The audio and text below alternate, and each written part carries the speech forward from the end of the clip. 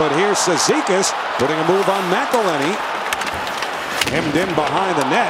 And there's going to be a penalty here. Jack Johnson came from out of nowhere, and I'm not sure if it's Johnson who's going to go because it took the referee an extra second or two. We're talking about Eric Furlatt, the referee wearing number 27, to throw the arm up. Jack Johnson is going to take the penalty in behind the net. Savard is in behind, and here comes Jack Johnson, almost like hitting from behind on Cizikas. A real late hit on Casey Cizikas, and in comes Bolton to protect his line mate. And that would be an interesting goal with Bolton and Jack Johnson.